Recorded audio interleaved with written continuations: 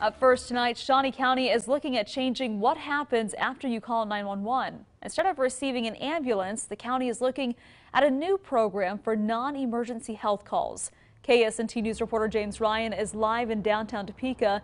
So James, talk to us about how this new program would work. Brooke, if you call 911 for something health related, but it doesn't require an ER visit, under this program, dispatchers would have the option to transfer you to what is called a nurse navigation line. Now, the Shawnee County Emergency Management and AMR presented this idea to the Shawnee County Commission earlier today. The line would be ran by state licensed nurses. They would assess the situation and could set up transportation to an urgent care center or a doctor's office or set up a telehealth appointment for the patient.